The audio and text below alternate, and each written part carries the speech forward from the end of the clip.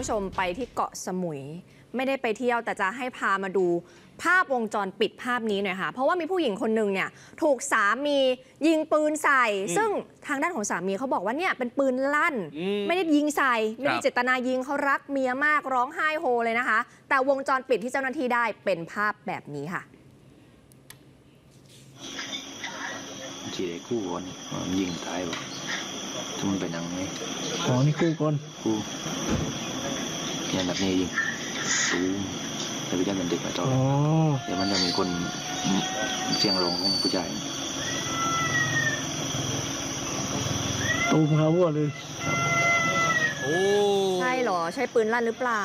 เออจากเออคลิปนี่มันเหมือนเอาปืนเข้าไปจ่อยิงเลยนะ อืมก็เห็นคาตาแบบเนี้ยครับ นี่คือวินาทีที่คนก่อเหตุ นายกฤษณพอายุ 42เนี่ยเขานั่งอยู่หน้าห้องเช่าตัวเองเนี่ยแหละค่ะ ตอนแรกเนี่ยหยิบปืนขึ้นมาแล้วก็เล็งไปในบ้าน ซึ่งในบ้านน่ะเมียวัย 40 ปีอยู่ข้างในนะ ครับ เล็งไปเหมือนลักษณะขู่เฉยอืม ๆ สักพักก็เดินกลับมาที่โต๊ะหยิบปืนอีกรอบแล้วครั้งนี้เนี่ย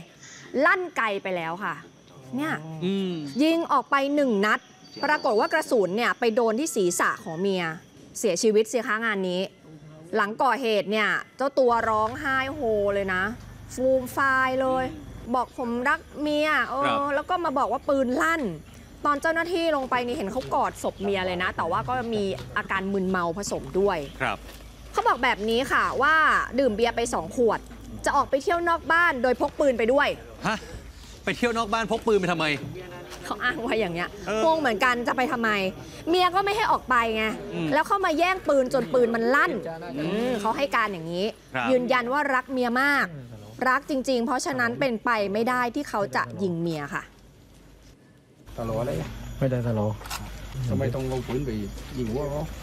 ไม่ได้ยิงครับ ไม่ได้ยิงว่าไม่ได้ยิงปืนครับก็ยิงปืนครับยิงปืนไปเขาว่าไม่กล้าเลย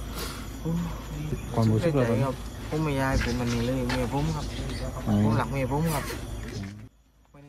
ให้การตอนนั้นอะ ไม่ได้ยิงไม่ได้ยิง เออ แต่พอดูวงจรปิดแล้วอะคนละเรื่อง ยิงชัดเออ ๆคนละเรื่องเลยคุณหยิบปืนมาเลย แล้วคุณก็ยิงเลยนะ ครับ ตำรวจเนี่ยพอตรวจสอบวงจรปิดอะคำให้การขัดแย้งกันนะคะ แล้วก็ทางด้านของผู้เสียชีวิตไม่ได้มีการแย่งปืนอะไรตามที่กล่าวอ้าง อืม โดนแจ้งข้อหาฆ่าผู้อื่นโดยเจตนานะคะ ส่วนอาวุธปืนเนี่ยได้รับอนุญาตถูกต้องหรือไม่ ตอนนี้อยู่ระหว่างการตรวจสอบค่ะ ครับ